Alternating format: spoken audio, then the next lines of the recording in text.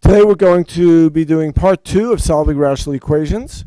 Uh, once again, remember that we need to find the least common denominator of, of the uh, f- uh, fractions in our rational equation, and then we're going to multiply both sides by that least common denominator, and then solve the resulting equation. We have to make sure, though, that uh, to reject any solution that makes the denominator equal to zero. You might recognize that on the uh, right side, we uh, have 4x squared minus 9. You might recognize that as a difference of two squares. And what we have learned in the past, so when you have a difference of two squares, like 4x squared, which is 2x squared, we could put the 2x on each side, uh, in each factor. And 9 is 3 squared, so we could put minus 3 and plus 3 in that denominator all over with 18x in the numerator. And now it might become a little bit clearer what the least common uh, denominator is, and it's it is clearly 2x minus 3 times 2x plus 3. If we multiply both sides of this equation by 2x minus 3 times uh, 2x plus 3, we will be able to eliminate both denominators. So why don't we try that? And I'll just change some colors to make it a little bit clearer. So we have 2x minus 3 times 2x plus 3 times our original uh, e fraction, which is x plus 3 over 2x minus 3 equals 2. And on the right side, we had 18x over 2x minus 3 times 2x plus 3. And now we want to multiply it by 2x minus 3 times 2x plus 3 because in any equation, if you do something to one side, you must do it to the other side to keep the equality. So once again, we're going to multiply the right side of the equation by 2x minus 3 times 2x plus 3. Now, it might be clear to you, or might not, but uh, that some things could be canceled.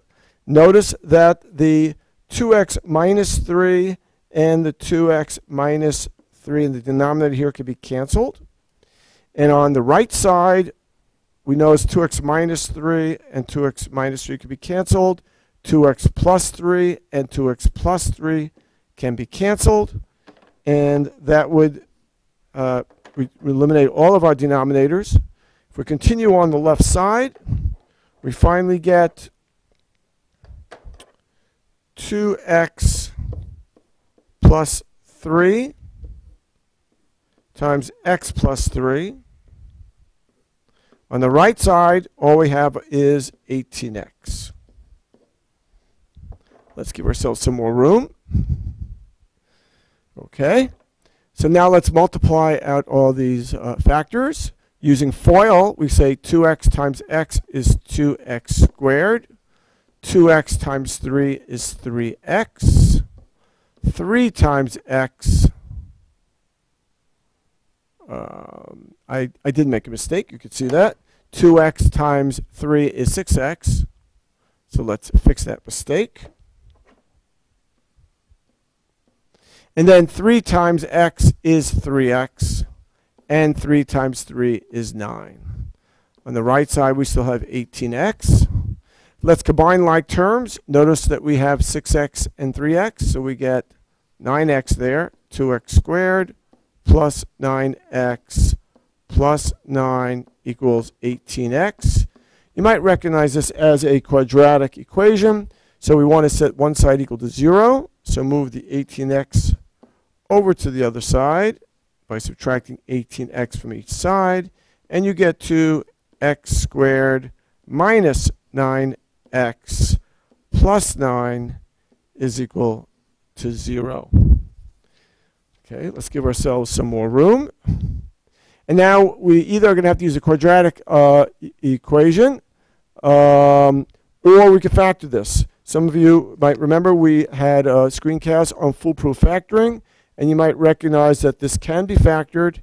We will go into the details, but it is factored into 2x minus 3 times x minus 3 equals 0.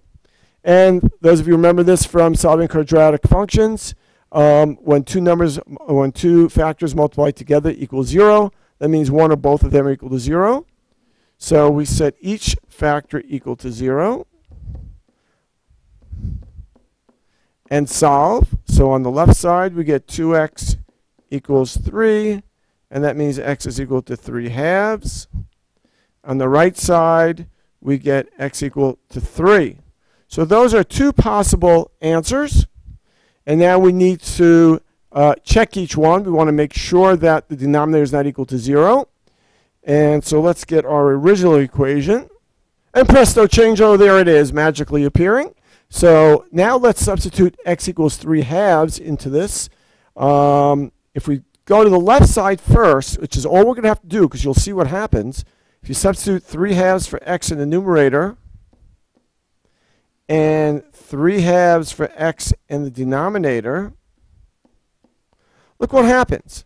The numerator, we'll just leave that alone for the moment. But notice the denominator, 2 times 3 halves. Notice the 2's cancel out. You're left with 3 minus 3, which means we're going to get 3 halves plus 3 in the numerator, but 0 in the denominator. And that's got to be rejected because you cannot have a solution which gives us a 0 in the denominator. So 3 halves is rejected. Let's put that right up here. Reject. Poor 3 halves, that's a reject. And now let's uh, try x equal 3. Same, same idea. So we, on the left side, we'll substitute 3 for x. So we get 3 plus 3 in the numerator. 2 times 3 minus 3 in the denominator. On the other side, you have 18 times 3. And in the denominator, you have 4 times 3 squared minus 9. Notice neither denominator is going to be equal to 0. On the left side, we get 6 over 6 minus 3, which is 6 over 2 or 3.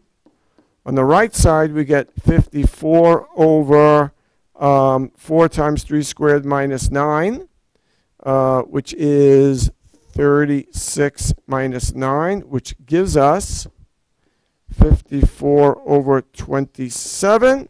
And 54 divided by 27 is 2. By the way, you might have seen the, seen the mistake I made. I wrote a 2 here. That was a mistake. Clearly, 6 minus 3 is a 3, and 6 divided by 3 is a 2. Excuse, I'm not, excuse me, I'm not perfect. And so there we go. But left side is equal to 2. The right side is equal to 2. The solution is good. So we have one solution. X is equal to 3 is our solution. And we are done. Thank you. And now it's your turn. So we want you to solve this uh, rational equation. And what you should do if you have any trouble, go back, rewind the screencast, look at the steps, follow them carefully, then come back and try to do your problem. Good luck, and see you again next time.